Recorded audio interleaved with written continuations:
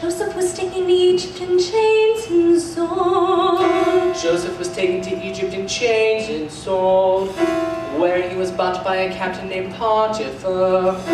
Where he was bought by a captain named Potiphar.